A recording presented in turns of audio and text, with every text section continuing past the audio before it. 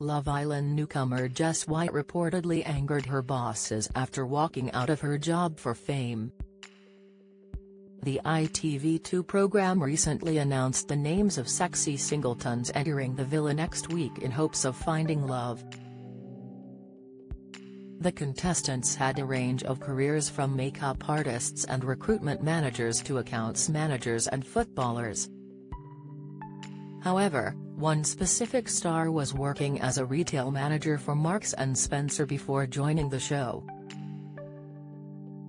Jess White, who hails from Stockport, worked at the store giant before she reportedly walked out on a huge promotion to enter the villa. It was claimed her departure came as a surprise to her bosses as she did not tell them why she made the decision to leave her role. According to a source, her bosses jumped through hoops weeks before just to promote her to store manager. The news that Jess walked out on her huge promotion after a few weeks has really not gone down well with senior management, the insider recently claimed. She had been an exemplary worker and they had championed her and pushed for her to receive this new promotion, they told The Sun before they claimed that one employer called it a kick in the teeth. The Mirror have contacted ITV for comment. Jess will be one of the many gorgeous people walking into the villa. Jess teased in a post earlier this year that she's happiest when in the sun. Ahead of walking into the villa next week, Jess shared the reason she signed up for the show.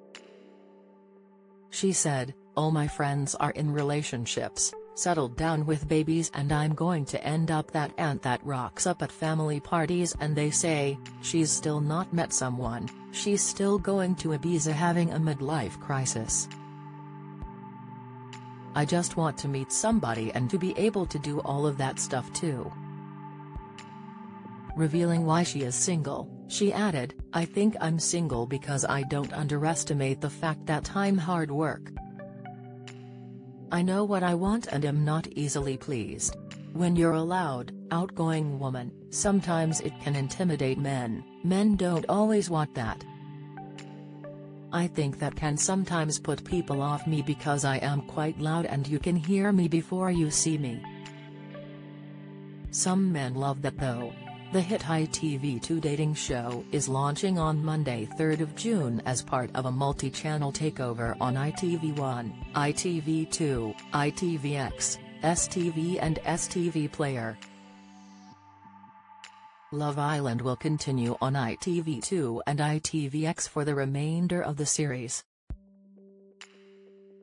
Follow Mirror Celebs on TikTok, Snapchat, Instagram, Twitter, Facebook, YouTube and Threads.